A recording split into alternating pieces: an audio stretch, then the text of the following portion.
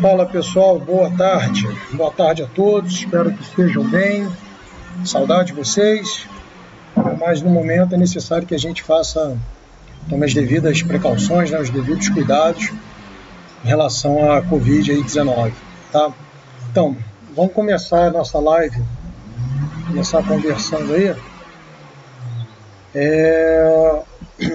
Matéria nova, a gente vai falar aí de renascimento das artes e o Renascimento das Artes tem algumas coisas importantes e interessantes que a gente deve prestar atenção. Tá? Mandei o texto para vocês. Não vou fazer essa leitura do texto, senão essa live vai ficar muito grande. Vou deixar para vocês e aí vou comentando algumas coisas que eu acho mais importante aqui para a gente conseguir avançar. Beleza? Então vamos lá, gente. Ó, o que foi o Renascimento? Né? O Renascimento foi um momento na história e na história da arte em que a gente estava saindo do período medieval. Né? Saindo do período medieval quer dizer que nós estávamos abandonando alguns dogmas antigos e, e saindo um pouquinho do domínio da Igreja Católica né, dentro desse período, já que a Igreja Católica foi a instituição que dominou o pensamento na Idade Média, o pensamento medieval. É, essa ruptura com a Igreja Católica vai fazer nascer nas várias cidades-estados que existiam na Itália na época Florença, Nápoles, Roma, é, grupos de artistas, de pensadores, cientistas, intelectuais que vão passar a pensar a sociedade por um outro lado, não pelo lado mais somente da fé. Isso não quer dizer que a Igreja Católica tenha desaparecido, né?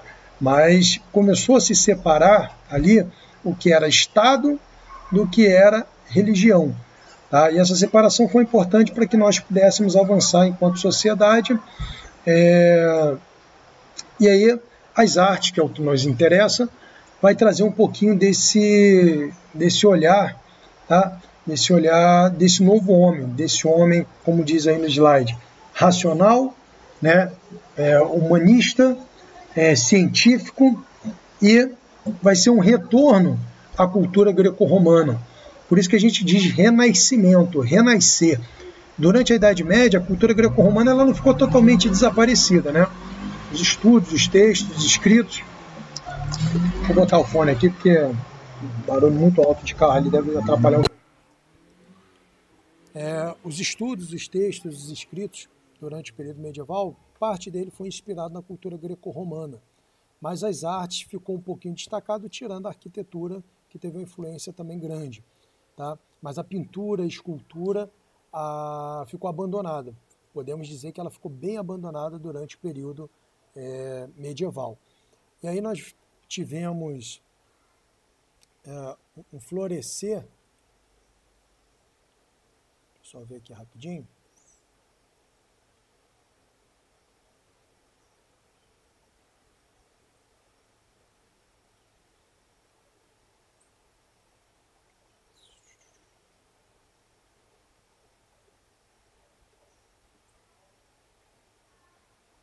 Eu, eu acho que não está nem. Deixa eu ver se está. Está transmitindo ao vivo.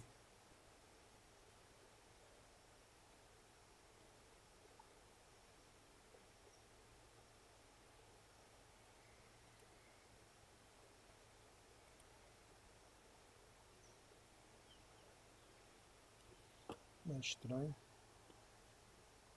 Dá uma pausa aqui, vou começar de novo para ver.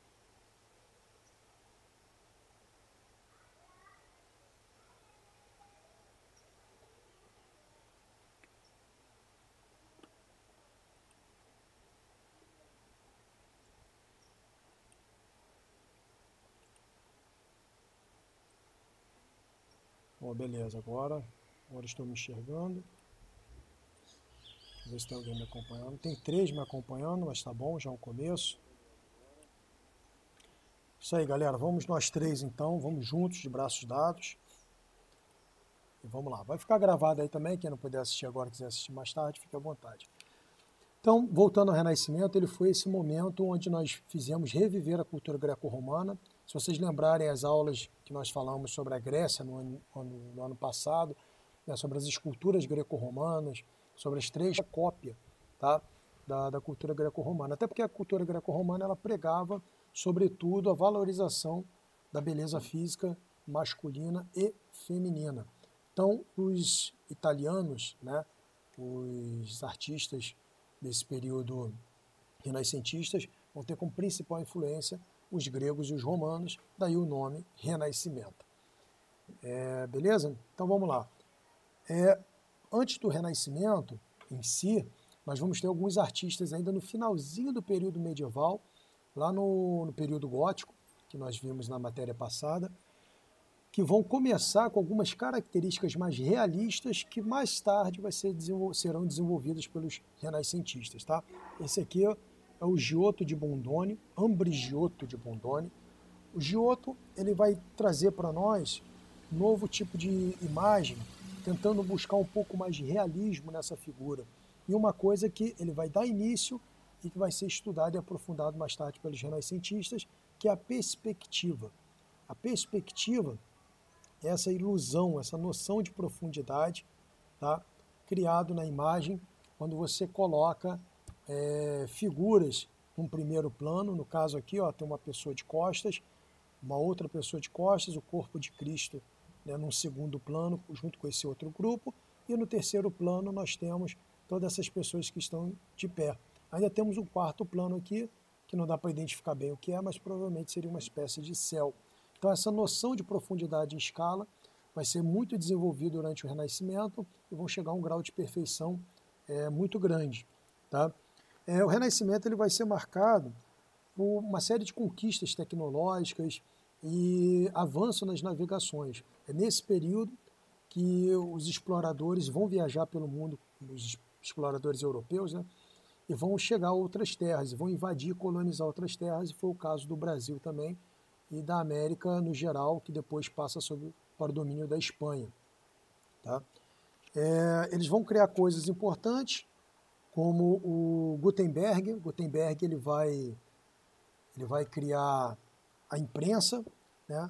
Antes da imprensa, nós só tínhamos. Antes da imprensa, nós só tínhamos é, livros, né? basicamente a Bíblia e alguns outros escritos, todos eles manuscritos, copiados à mão. Tá? É, a partir de Gutenberg, ele vai criar pequenas letrinhas tá? de vários tamanhos, mas com, com tamanhos e, e formas tá? de letras e números, e vai colocá-los posicionados uns aos lados dos outros, imprimindo assim os primeiros livros. Então, esses avanços tecnológicos vão fazer com que a ciência seja difundida com mais velocidade. E as artes não vão não vai ficar para trás. Temos mais uma imagem de Giotto. Notem nessa imagem, tá? Que fica bem claro esse primeiro plano, essas figuras do primeiro plano e as figuras de um segundo e terceiro plano, tá? Essa profundidade no olhar é o que nós chamamos nas artes de três dimensões, 3D ou perspectiva, tá? Então, quando a gente fala de 3D, filmes, jogos, enfim, é porque elas vão possuir altura, largura e profundidade. E essa profundidade geralmente vem com um desenho em diagonais. Show? Temos aí o grande Fra, o Frade Angélico. Ele é o segundo aí da nossa, nossa lista. Ok? Frade Dominicano, que vai estudar e desenvolver nas artes também. Esse, essa obra se chama Anunciação. É o momento que a Bíblia fala onde Maria ela vai receber a visita do anjo e vai descobrir que está esperando o Filho de Deus. É, notem que eles têm uma auréola, um círculo amarelado em volta da cabeça, representa a santidade, dentro do período ainda do final do período medieval, do período gótico. Ok? Mais uma obra de Fra Angélico. E aí nós vamos entrar no que de fato vai ser o renascimento. Tá? O renascimento ele vai ser importante para nós, que a partir desse período nós vamos conhecer nominalmente seus artistas. Tá? Nós vamos saber quem são esses artistas. Na Idade Média, isso era proibido. Os homens eram tidos como objetos, instrumentos na mão de Deus, então a glória toda era para Deus. Então eles não podiam assinar seus nomes nas obras. Agora no Renascimento, não. Tá? Os artistas vão produzir e vão deixar a sua assinatura. Essas pinturas, no geral, a princípio era feita com uma técnica que nós chamamos de têmpera, que é você pegar pigmentos naturais, igual nós fizemos lá no sexto ano, e misturar com óleo, não, desculpa, com, com gema de ovo, e aí essa mistura de pigmentos naturais com gema de ovo faria a tinta né, renascentista. Nós temos o grande exemplo aí da Mona Lisa, pintado pelo grande Leonardo da cidade de Vinci, beleza? Notem que a Mona Lisa está numa postura austera, ela fica numa forma triangular, ok? Essa forma triangular dela, nós vamos ver que o triângulo ele vai aparecer várias vezes nas obras renascentistas, é, simboliza o equilíbrio entre corpo, mente e espírito, ok? Era um pensamento muito difundido durante o Renascimento, que era esse equilíbrio do homem entre corpo, mente e espírito. O homem ele tinha que ser equilibrado para ser bem sucedido. Então, essa trindade de pensamento filosófico vai, ser um, vai ter reflexos aí na, nas artes. É, mais uma obra do grande Leonardo. Essa obra é interessante, A Virgem dos Rochedos, porque ela tem, tem duas. É, ela foi refeita, na verdade. A, primeira versão, essa que está João Batista, sabe-se que ele foi decapitado né, na história bíblica. E aí mais tarde ele teve que refazer, onde esse anjo perde essa mão aqui, tá, e as coisas é, saem desse sentido inicial. Leonardo, ele era homossexual, ele tinha relacionamentos homoafetivos e para a época isso era tratado como crime. Ele chegou a ser preso, mas não foi condenado a coisas mais bárbaras, né? O absurdo desse período, condenar as pessoas pelas suas opções ou, ou pelas suas formas de viver, tá? Mas enfim, e aí ele tinha algumas críticas severas também à igreja, já que dentro desse período a igreja também era muito crítica a esse tipo de comportamento. É, mais uma obra do grande Leonardo, né, a, a Última Ceia. Aqui nós temos um exemplo clássico da perspectiva. Notem que Jesus aparece ao centro, o seu rosto ele vai ligar. Se você passar uma linha reta aqui por cima dessas, desses retângulos aqui, que provavelmente seriam portas, não sei, você vai chegar sempre na cabeça aqui de Cristo. Né? Essa cabeça de Cristo, ela marca o centro do quadro e as divisões em perspectiva, em noção de profundidade. Ok? Aqui no caso aparecem os doze apóstolos sentados com Jesus, discutindo com ele o que seria essa última ceia antes de Jesus ser levado ao Calvário. Beleza, galera, nós temos aí o grande Michelangelo Buonarroti. Michelangelo, ele foi pintor, arquiteto, filósofo, escritor, mas sobretudo ele é conhecido como um grande escultor. Tá? Essa obra que vocês estão vendo aí é a obra chamada Davi. Notem como a obra se mostra numa postura relaxada, tranquila, todo o peso do corpo sobre uma perna, né? a outra perna livre, solta. Ele está numa postura como se ele já tivesse é, atirado a pedra né, com o seu botoque no, no, na testa do gigante, ou como se ele ainda fosse fazer, mas sempre muito tranquilão. Essa tranquilidade né, reflete aquilo que nós falamos sobre mente, corpo e espírito. Então, toda a obra renascentista vai ser pensada para transmitir essa ideia de equilíbrio, de tranquilidade, de serenidade. Tá? Você dificilmente vai ver, ou eu não me recordo, de obras renascentistas que mostram as pessoas em poses drásticas, violentas ou com gestos muito fortes. Isso vai ficar para o próximo movimento que a gente vai estudar, que vai ser o movimento barroco. Tá? Essa escultura é enorme, tem mais de 3 metros de altura, ok? Mostra Davi bíblico nu. Essa nudez é uma valorização do corpo humano, né? não tem diretamente, nada diretamente a ver com questões de, de sexualidade, e a beleza do corpo humano expresso na obra Davi. É... Ah, tá. Temos aqui também mais uma obra do Michelangelo, A Criação do Homem, ou Criador e Criatura. Isso é a pintura que existe no teto da igreja, no teto da igreja Sistina, que fica em Roma, uma capela até pequena para os padrões de Roma. E, Leonardo, e Michelangelo foi convidado para pintar o teto dessa igreja. Alguns dizem que ele demorou cerca de oito anos para concluir. Teve vários embates com, com o Papa na época, porque como ele era é, estudioso da cultura greco-romana, e a cultura greco-romana utilizava os corpos nus para marcar os corpos nus para marcar é, a questão da beleza. Ele vai utilizar isso também na igreja. O Papa, em algum momento, vai pedir para que fossem cobertos, e ele resiste em algumas partes e outras não. Mas o que é interessante aqui é que essa obra é vista ampliada, essa região aqui, ó, elas não se tocam, tá? Elas estão próximas, mas não. Voltando aqui, porque eu acho que caiu, estava observando ali. Então, aqui em torno do, da imagem do que seria Deus, né, envolto nessa imagem, nós temos uh, uma silhueta, uma imagem que nos lembra ou um cérebro humano, né, e alguns acham que lembra o coração. Isso também era muito interessante, porque o Michelangelo ele vai participar de um movimento que mais tarde a gente vai conhecer como Barroco. Ele vai iniciar basicamente esses questionamentos, ele vai fugir um pouquinho da racionalidade do, do Renascimento, e aí ele começa a introduzir é, criações em diagonais nas suas obras que reflete o desequilíbrio humano. Tá? Uma característica da obra renascentista é que, no geral, essas obras são feitas é, muito bem divididas. Ó. Nós temos uma linha do horizonte aqui no meio da tela, que, que passa no centro, né, no umbigo da, da figura.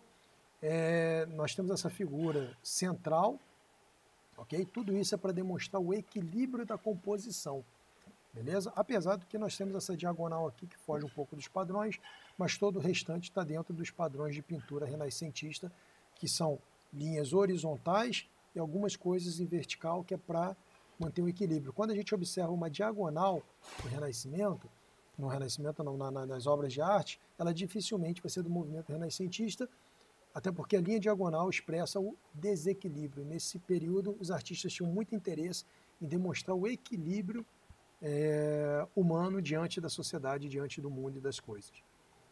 Tá? É, aqui nós temos também uma obra de Botticelli, Sandro Filippepe Botticelli, O Nascimento da Vênus. Não vou falar muito sobre essa obra não, porque se eu não me engano é até uma das questões que vocês têm aí, eu gostaria que vocês pesquisassem, dessem o olhar de vocês sobre a obra exatamente. Então, eu vou deixar ela ela quietinha para vocês conversarem sobre ela, depois a gente falar melhor sobre, tá? Aqui nós já temos o grande Rafael Sanzio, que vai pintar a academia. Isso aqui é um, é um quadro que Rafael fez homenageando os grandes pensadores gregos tá, da antiguidade. No centro nós temos talvez que foi os dois maiores, é, seria Platão e Aristóteles discutindo, Platão apontando para o céu, discutindo o mundo das ideias, e Aristóteles apontando para a terra, discutindo o mundo físico, o mundo sensível que nós vivemos. E aí temos vários outros é, filósofos e pensadores da Grécia Antiga dentro dessa que é a academia, né? Academia no sentido de estudar, de escola, não academia como nós conhecemos hoje no sentido de malhar. Apesar de que o, os gregos acreditavam muito nesse equilíbrio também de corpo e mente. Tá? Então, corpo são, mente sã. Era um lema que nós conhecemos muito bem da cultura greco-romana. Esse aqui é o, é Jan van Eyck. Jan van Eyck ele é um, foi um artista holandês, se eu não me engano, e ele, na verdade, ele, ele participa do final do período gótico, ele é lá no iníciozinho do Renascimento. Só que eu coloquei ele aqui porque ele é muito interessante, o grau de perfeição dessa obra. Eu coloquei até no texto antigo de vocês, da semana passada, se vocês observarem esse espelho aqui, ele reflete todo esse ambiente aqui invertido. E aí você consegue ver o artista. Você vê esse casal aqui de costas e você vê o artista pintando a obra refletido nesse espelho. Tá? Vocês vão conseguir é, ver a assinatura do Jan van Eyck aqui também, como se ele escrevesse Jan van Eyck esteve aqui, e alguns detalhes também nesse candelabro fantástico, além da maçã aqui na janela recebendo esse brilho. Tem uma série de, de questões aqui, é, como é que se diz? Um pouquinho de mistério dentro dessa pintura, de símbolos né, misteriosos que são bem interessantes. Mais um Rafael Sanzio aí, se vocês observarem, também existe uma disposição triangular entre os olhares dos três personagens. Nós já falamos o sentido do triângulo na obra renascentista. E basicamente é só. Tá? E aí tem as atividades que eu quero que vocês leiam e tentem fazer, por favor, para vocês não ficarem muito perdidos. Vocês têm alguma pergunta para fazer, alguma coisa que vocês queiram saber? Senão eu vou encerrando aqui, tá? E a gente vai ficar aí no próximo encontro. Beleza? Como ninguém perguntou, acredito que todos tenham entendido. Vai ficar gravado, qualquer coisinha, só tirar as dúvidas aí, tá bom? Um abraço para todos aí. Se cuidem. A gente está bem de saúde quando voltarmos. Um abração. Tchau.